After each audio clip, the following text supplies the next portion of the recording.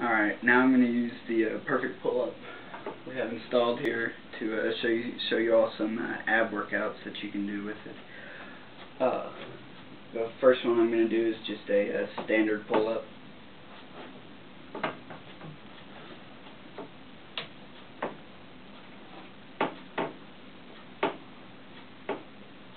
That really works your abs because uh, your abs keep your body from swaying.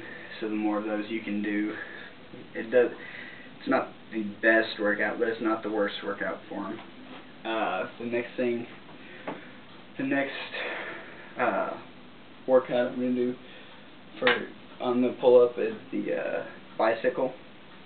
And this is uh, this is mainly designed for your abs. This is a really good workout. Uh, and it looks like this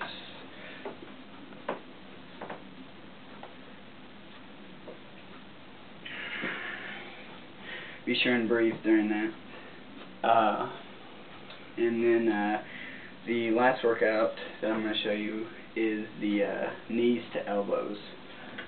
Take these off. What you do is you just hang there, you bring your knees up.